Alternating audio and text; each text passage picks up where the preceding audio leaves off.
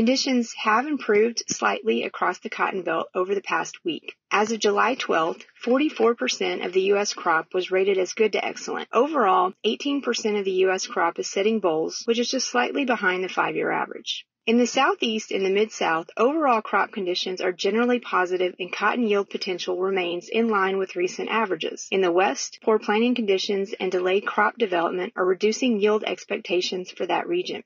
In the southwest, worsening drought conditions in Texas remain the area of greatest concern in terms of overall production potential. However, it is important to note that there are some areas of Texas that have very good crop conditions. The percent of planted acres that are unharvested is expected to be significantly higher than 2019, particularly for dryland cotton. USDA is projecting 15 million bales of U.S. exports for the 2020 crop year. This would result in ending stocks of almost 7 million bales for 2020.